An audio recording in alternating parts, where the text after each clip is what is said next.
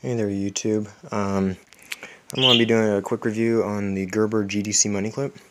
So Gerber has come out with the GDC series a little while ago and it's kind of their play on words on EDC everyday carry or Gerber day carry. Um, they're just some cool little knives and tools. They have some multi-tools they sell and a couple knives. Um, I got this just about an hour ago and it is pretty interesting.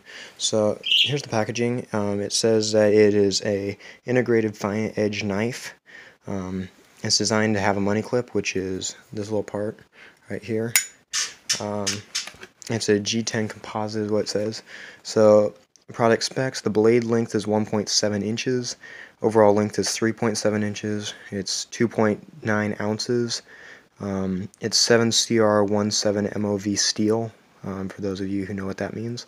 Um, its handle material is anodized aluminum ring, and the locking mechanism is a button and an internal nylon.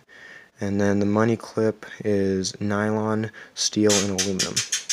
So, um, right up here, it's a texturized G10 composite, front plate, and no slip grip.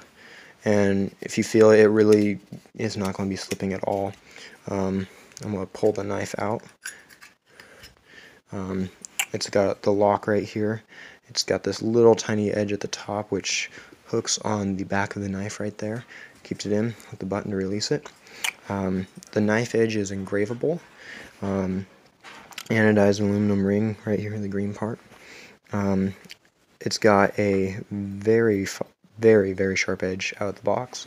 Um, and this clip here says it'll hold four credit cards uh, or four folded bills. So not a lot. It's a really just kind of like if you're going minimalist for one day. Um, I got this because I our school does not allow us to carry knives like pretty much any school, and I always have a rule I keep a knife on me at all times. And I recently just traded my everyday carry knife, which was a Ka-Bar TDI law enforcement, which is what I carried at school, for a Gerber StrongArm, which was a pretty good trade to me. So I picked this up for 16 bucks on Amazon. It's a small little blade. One of my friends had it, and it just seemed like a good one to have at school. So I won't be using this as a money clip. This will be used to attach it to my pants. I'll just carry it inside the waistband. So first impressions, um, the sheath is very durable. It feels like it's got locking screws in all four corners.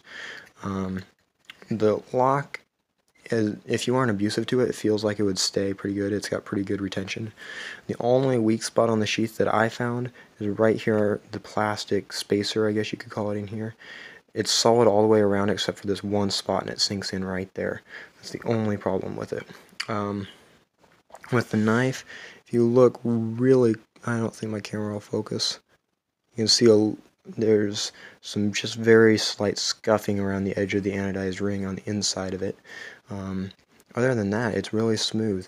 Um, I like to hold it like this. I've seen people hold it with their finger through the loop and hold it like that. Um, you can also do the surgeon style, which is also a good way in my opinion. Um, very solid. It only goes in the sheath this one direction and just slides in and locks. Doesn't come out because it catches. You just push that down and slide it up. Um, so this is what I'll be carrying in as a concealed knife just to have a little blade with me. I used to carry a credit card knife. I've gone to lots of different things and I think this is what I'm going to stick with. So first impressions for 16 bucks. It's a very nice knife. It feels like quality. Um, couldn't ask for a better thing. So thanks for watching and hope you enjoyed the video.